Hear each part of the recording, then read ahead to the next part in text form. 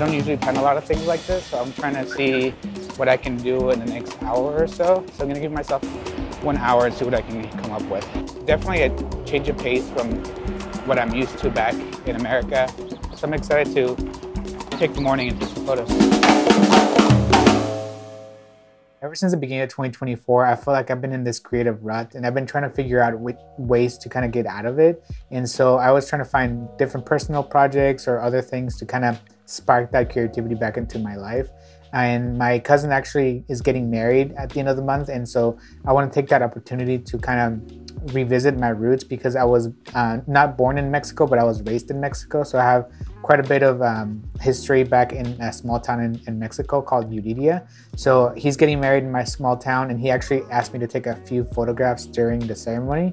So I think this will be a great opportunity for me to kind of rekindle that creative spark and kind of also uh, get back into my roots with my hometown. I want to keep things very simple for this trip, so I'm shooting all of my personal stuff on the Leica Q2. As you know, this is my favorite camera and a camera that kind of sparks joy into my project. So I really wanted to bring this in because it is my favorite camera and I've never taken it uh, back to my hometown in Mexico. So that's my primary stills camera. I'm also going to be shooting with the Sony a7C II for the wedding ceremony just because I want something that's um, has a little bit better autofocus. And all of the video stuff, I'm kind of trying out this new thing. It's the DJI Osmo Pocket 3. I got this back in um, the middle of January or the beginning of January, and I haven't really tested it fully. So this is gonna be a great exercise for me to actually get out there and shoot with this camera without having to bring like tons and tons of gear. So that's basically the gear breakdown for this project. And so I'm excited to see what kind of things I'm gonna get.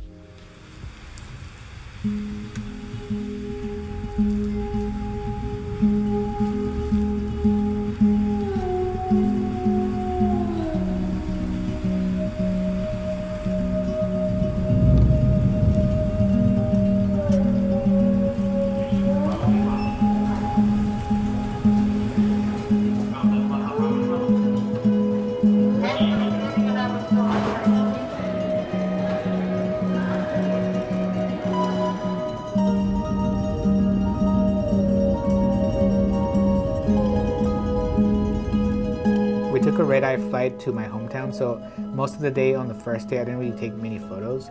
I did start taking photos like in the late afternoon after dinner. We had dinner at my late grandma's house, and so I grew, that's the house I actually grew up in. So I wanted to go to the roof and take some pictures of the view I used to get when I was growing up here.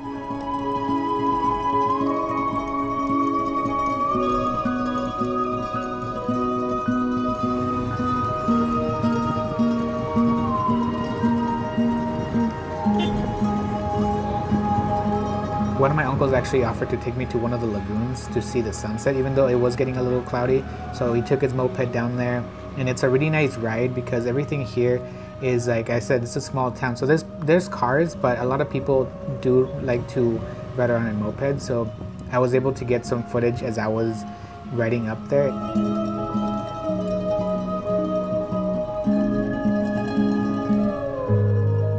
We unfortunately didn't make it in time for the actual sunset, but I was still able to get some nice photos.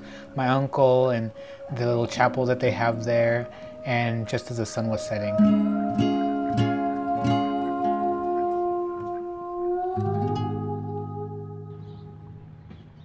But that same philosophy that I've been doing to kind of get out of this creative rut and trying to do things that are kind of out of my comfort zone, like vlogging. Like this is not something I ever do, but I figure that it's a good exercise for me to do, especially because I do want to document my process on making photos in my hometown. I've been here so many times and I grew up here, but since I became a photographer, I haven't really taken any photos here. So I want to get this as most authentically as I can because I just want to have this for myself anyway. So this is me just trying to get over the, the, my stage fright in front of people. So yeah. Like this is a really beautiful place to visit. Like there's like um, squares and there's gardens all over the place. People hang out here. People like to have their morning coffee out. My hometown is a very social place. So having people out and about is very common here, but not so common where I'm from in America because everybody is, I come from the suburbs, so people are not usually out doing things unless they're going to work. So it's a nice change of pace and nice to photograph.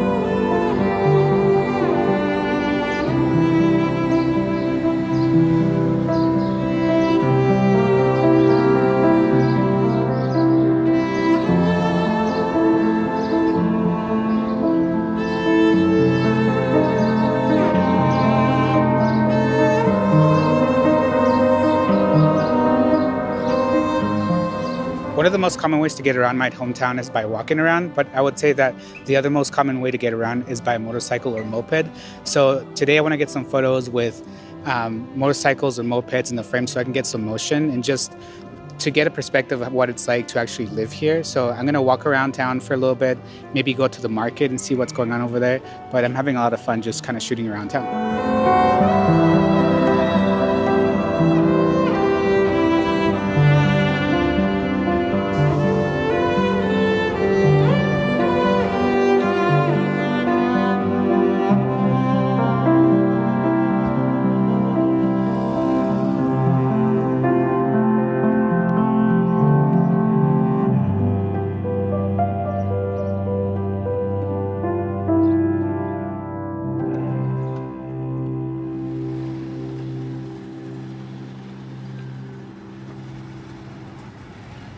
So right now we're in the middle of the Mercado here in Yuriria. This is like the entrance of it. There's a lot of color, so I want to shoot for color right now. So as you can see, it's a pretty busy area and there's a lot of tchotchkes and souvenirs. But the point is to just get people as they walk around and just to get some, not so much motion, but just the way that people interact with other people and when they go on about their day.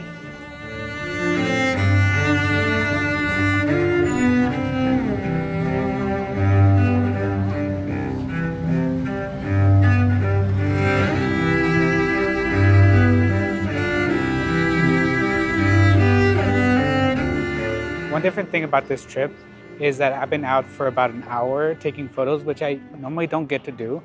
I usually just take photos as a part of my day. So if I'm out doing errands or doing stuff with my son, it's just I take pictures in between when I can.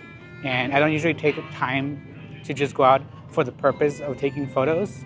So it's been refreshing to be able to concentrate for a little bit on just different compositions and just observing my surroundings and kind of staying in one place for a bit to see if anything changes or if the scene or the lighting changes. So it's been nice to be able to practice different techniques, um, even though it's getting a little bit later in the day and it's the light is not as nice, but it's been um, really fulfilling. It feels really weird being back in my hometown, especially after getting married and having a son.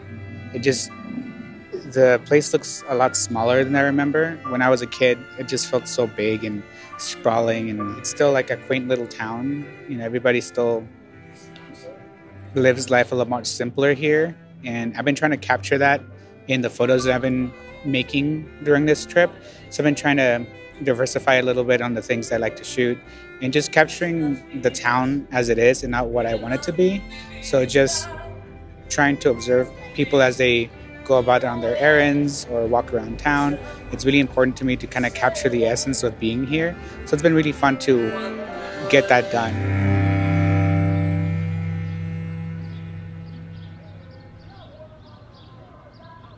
I don't have a ton of time to shoot this morning because today is my cousin's wedding day and I am shooting some photos for him at the ceremony. So I'm only walking around for a little bit, see what I can get in the meantime. The main focal point in my hometown is this giant church built in 1550. So a lot of people come from all over the place to visit this. It's like a tourist destination. So I've been trying to shoot it from different angles. So this my town has different gardens that people like to hang around on the weekends, including this garden. I went to elementary school really nearby, so um, I grew up just walking around this area. So it's been nice to photograph places I've been to in the past and kind of see it with a different perspective now that I'm a photographer. So I've been trying to just get all kinds of angles of this church because it is like such a big, iconic part of my town. Right now it's the afternoon of my cousin's wedding. The ceremony went really well. He's more of a reserved person, so it was really nice for me to shoot the ceremony the way that's more authentic to who he is. So I stayed back a lot of the time and I still got really beautiful images. They got married in a really nice church outside of town and right now it's the reception. I'm not really they didn't ask me to take photos during the reception, but I still want to take a, a handful of them since I am a wedding photographer. So it's nice to go to a wedding where I'm not required to shoot any photos, but still, it's really fun for me to shoot photos anyway, and really, uh, really nice for me to be able to do what I love to do in this kind of setting with family I don't get to see all the time.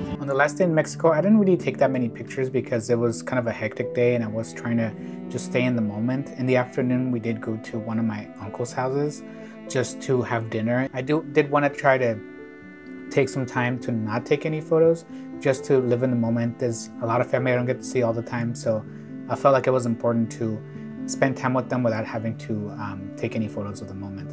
But even then, I was still able to get a couple of the pictures of the sunset and just of the rooftop of my uncle's house. So it was a really nice way to wrap up the trip. Overall, I think this trip really helped me out and kind of re-sparked that creative spark that I've been kind of searching for the last couple months, just because I don't feel like every picture you have to you take has to be like this monumental thing that's going to go in your portfolio but i do like to keep photography fun because before i started uh, be- before i became a photographer it was a hobby and so i wanted to keep that kind of that sense of fun in my photography especially for my youtube channel because this is for fun so um, i had a lot of fun in this trip making all these photos and just getting to spend some time with family Overall, I feel really proud of the photos I took during this trip. I don't really have a print store or anything like that, but I do have a darkroom profile set up. So if you're interested in any prints of these photos, um, I'll link it in the description below. Uh, again, this is not like a sales pitch, but if you like these photos and you want to support the channel in some way, um, everything will be listed in the description below.